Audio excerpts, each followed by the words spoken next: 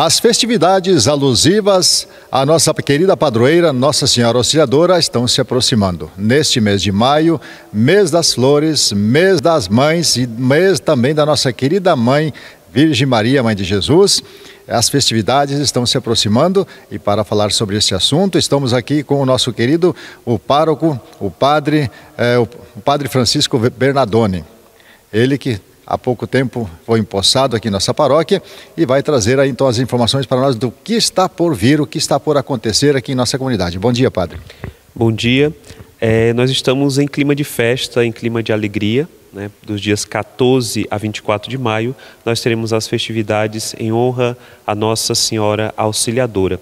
Graças a Deus, as equipes né, já estão trabalhando, já estão se movendo, tanto as equipes litúrgicas como a equipe da festa.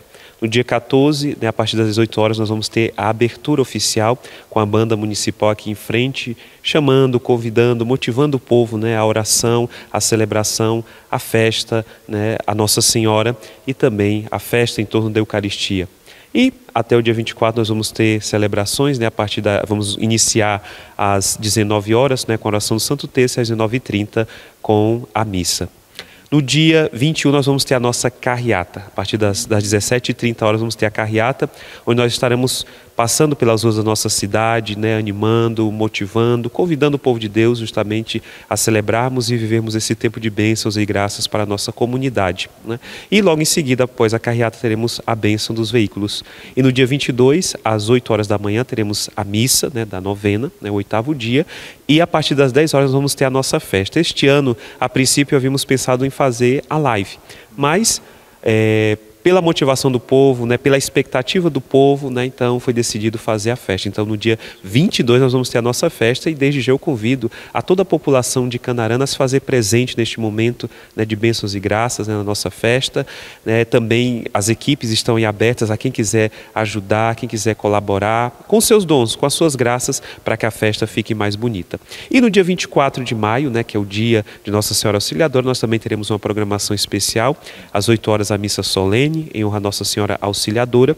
Depois vamos seguir no momento de oração das mil Ave Marias e às 17h30 nós vamos ter a a caminhada né, do povo de Deus, a procissão né, com a imagem de Nossa Senhora pelas ruas da cidade e vamos encerrar aqui com a coroação de Nossa Senhora e a bênção do Santíssimo. Então é uma programação bem recheada e eu acredito que o povo de Deus de Canarana, um povo de bom, um povo bom, um povo trabalhador, um povo que gosta de rezar, com certeza irá se fazer presente. Então já, já vamos agendando esses momentos importantes. Dia 21 a nossa carreata e bênção dos veículos, né? Dia 22 a nossa festa, né? Domingo a nossa festa a partir das 10 horas aqui no, no pátio aqui no, no pavilhão da, da igreja, aqui atrás da, da igreja da paróquia. E no dia 24, né, a missa solene em honra a Nossa Senhora Auxiliadora. E à tarde, às 17h30, a nossa procissão, a nossa caminhada do povo de Deus. Padre Francisco, para a festa, como costumeiramente acontece, é servido o cardápio, um churrasco com saladas, música, na parte da tarde é, leilões, é, dança. Vai ser feito dessa forma esse ano? Isso, toda, toda essa programação continua. Né? No dia 22, toda essa programação continua. Né? O churrasco tradicional com seu cardápio. Não é? Ontem nós nos reunimos, né? O, o, a diretoria se reuniu com os coordenadores das pastorais, grupos e movimentos, justamente para acertar esses detalhes, né? que graças a Deus aí as pessoas assumiram, né, as pastorais, os movimentos assumiram com muita, muita responsabilidade, com muita disponibilidade. Toda essa programação vai continuar né, no dia 22, né, para que a festa seja completa e essa tradição. Né, já, já estamos na 43 edição né, da festa é, a Nossa Senhora Auxiliadora. Né, então, com certeza, cada ano, cada diretoria, né, cada conselho econômico vai fazendo bonito né, e o povo, claro, vai colaborando com a sua participação e com a sua presença. Ainda só para complementar, padre, a questão das doações. As pessoas, pessoal dos, dos interiores que costumam sempre fazer doações, animais para o churrasco e outras doações também, como é que está a questão da arrecadação? Então, as arrecadações já estão acontecendo, né? aquelas pessoas que, que já têm um costume, né? onde a diretoria vai até o encontro das pessoas, já, já está acontecendo a doação de, de, de animais, né? de bolos, outras prendas né? para, para o momento das rifas, está acontecendo. E você que ainda não fez né? a sua doação, fica-se à vontade, né? você é convidado, né? a sua doação né? para a nossa festa é a sua presença e a sua colaboração. Você pode entrar em contato né? com a secretaria da paróquia, da, da paróquia que ela vai é, direcionar você.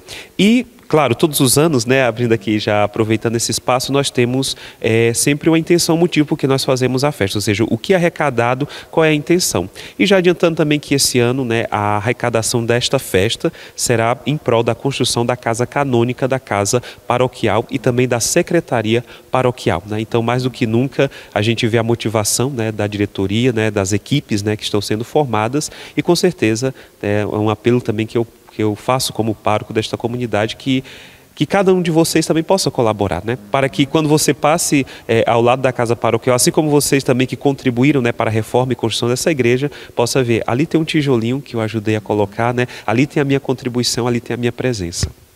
Muito obrigado pelas informações, padre. E com certeza essa festa vai ser de grande bênção para a nossa comunidade, ainda mais agora com a sua vinda. O senhor chegou no momento em que a pandemia deu a sua trégua, encerrou a pandemia. Como é que o senhor está vendo agora esse novo momento, essa retomada do cotidiano e da vida normal? Bom, aqui, graças a Deus, as pessoas de fato, eu dentro da questão da celebração das santas missas, né? E outros movimentos também. Eu vejo que as pessoas voltaram com muita confiança, né? É, em contato com outros amigos, padres, né, em outras comunidades, em outras cidades, outras paróquias, as pessoas ainda têm um certo receio, né, de voltar à igreja, né, mesmo dado toda a liberdade, toda a segurança que tem. E aqui em Canarana eu vejo que as pessoas, né, isso expressa a fé do povo. Né? A coragem a confiança em Deus. Né? Então, as celebrações sempre com muitas pessoas, né? não somente aqui na matriz, mas nas capelas do, dos bairros e, e, também nas comunidades né? do interior, a gente vê a participação do povo. Isso é muito bonito, né? isso é o que, que nos motiva e que nos, que nos alegra muito. Né? Então, essa coragem e essa confiança. E o povo está vindo com muita confiança. Claro, muitas pessoas perderam parentes, amigos, fica aquela tristeza, mas dentro dessa dimensão da fé, essa esperança e essa certeza de uma vida nova em Cristo, que acho que também também é o que motiva as pessoas a retomarem né, as suas vidas. A vida continua né, de uma maneira diferente, mas sempre com aquela confiança né, e com aquele desejo de estar fazendo a vontade de Deus.